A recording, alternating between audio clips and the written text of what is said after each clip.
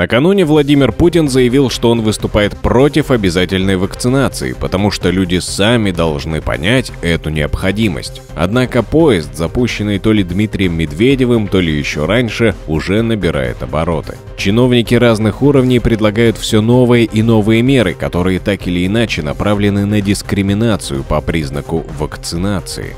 Так, мэр Москвы Сергей Собянин предложил ввести в ресторанах зоны ковид-фри, то есть только для вакцинированных. А Рамзан Кадыров высказался за то, чтобы невакцинированных граждан лечить в последнюю очередь. Впрочем, это пока только озвученные предложения, но есть и уже вводимые меры. Например, первый замминистра здравоохранения Саратовской области заявил, что прививка от коронавируса станет обязательным условием для допуска к плановой госпитализации. Кроме того, людям без вакцинации запретят санаторно-курортное лечение в регионе. Таким образом, власти с одной стороны в очередной раз как бы выстраивают картину хорошего царя и плохих бояр, с другой стороны продвигают идею ковид-паспортов и завуалированной дискриминации.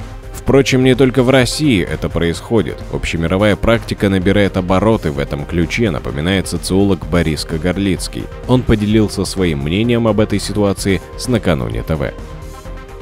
С одной стороны, конечно, определенная дискриминация э, людей, скажем, не вакцинировавшихся, уже становится международной практикой. К сожалению, это не э, чисто российская история, мы знаем. Э, больше того, здесь российские власти скорее в каком-то смысле идут за западными европейскими странами, которые пытаются вводить соответствующие ограничения. Но с другой стороны, мне кажется, если говорить конкретно о России, то можно наблюдать непоследовательность и отсутствие а, какой-то четкой линии поведения, а, плана и так далее. Я думаю, тут дело еще в том, что, с одной стороны, все-таки действительно они делают ставку на вакцинацию, и, помимо прочего, надо помнить, что хотя вакцина является бесплатной для населения, она отнюдь не бесприбыльная для производителей. Производители вакцины как раз из государственного бюджета получают просто гигантские деньги. Другой стороны, надо помнить и то, что у нас вроде бы пока элементарно просто физически вакцины не хватает на все население. И поэтому вот эта всеобщая вакцинация наталкивается не только на сопротивление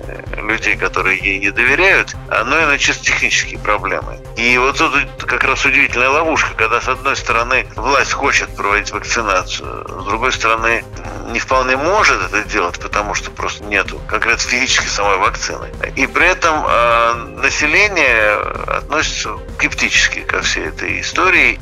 И вот тут начинается игра в хорошего царя и плохих бояр. Это уже более российская черта, но со специфическими особенностями. То есть народ скептически относится ко всем идеям власти, плюс вакцины на всех не хватит. Таким образом, всеобщая вакцинация все равно невозможна. И вот тут появляется Путин, как бы выступающий против такой идеи, будь то бы не очень-то и надо.